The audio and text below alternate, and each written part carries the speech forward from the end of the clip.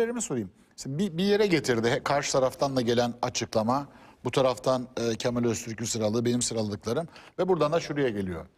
E, 80 yıldır bitmeyen bir savaş var bizim?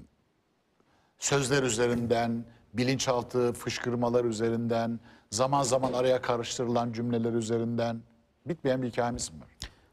Toplumun genelinde böyle bir şey olduğuna inanmıyorum ben. Ama hatta siyasetin genelinde de olmayabilir ama siyasetin bir kısmında bu savaşı sürdürmek isteyen, bu savaşı zaman zaman hortlatmak isteyen ve buradan beslenen siyasiler var. Şimdi Kemal böyle çok güzel bir noktaya değindi. Onu çok azıcık bir açayım fazla zaman harcamadan. Maalesef ülkemize bunu ben görüyorum, ben hissediyorum hatta görüyorum.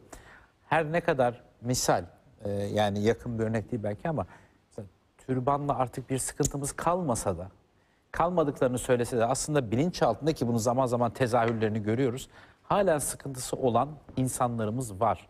Bunu bir e, insan hakkı özgürlüğü olarak görmeyenler var. E, bunu bir e, siyasi bir veya bir e, dini bir hareket olarak görenler maalesef var. Bunlar da ne değişti 20 yıl evveline göre? Şimdi böyle gözükmüyorlar e, halkın önünde. Ve bunu direkt CHP'de atfetmiyorum. Sakın yanlış anlaşılmasın. CHP'nin bence CHP seçmeninin genelinde de böyle bir şey yok. Ama maalesef CHP'yi yöneten bazı zihniyetlerde halen bu yaklaşım var. E, burada da bunu görüyoruz. Çok fazla değerlendirmek gerekir mi? Bilmiyorum çok fazla değerlendirmek gerekir mi Sayın Altay'ın bu yorumunu. Ben şey diyeyim, niye bitmediğindeyim. Bund- Bundan beslenen var.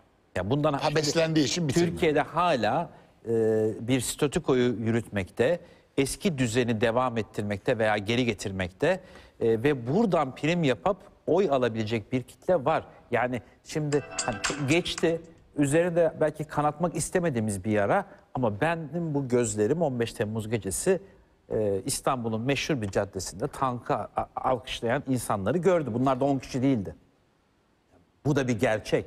Ve maalesef halen hani amiyane tabirle aportta mı bekleyen derler. Bu eski statü... Darbedenmede duran. Evet bu evet eski vesayetçi düzeni özleyen ve buna prim veren ve bunun için oy vermeye hazır ama bunu artık çok da bugün geldiğimiz 2021 yılında çok da açıktan ifade edemeyen bir kitle var. Bunu da göz ardı etmemek lazım. Ben çok fazla Engin Bey'in şeyinde durmuyorum çünkü benim ve bizlerin maaşıyla bizi temsilen, vekaleten mecliste bulunup da bu hükümet dünyanın en iyi işini yapsa bile bu hükümete alkışlayacak halimiz yok diyebilecek bir zihniyetin ondan sonraki e, tavırları, sözlerine de çok fazla şey atfetmiyorum ben. Zaman atfetmek istiyorum. Bana göre zaman kaybı.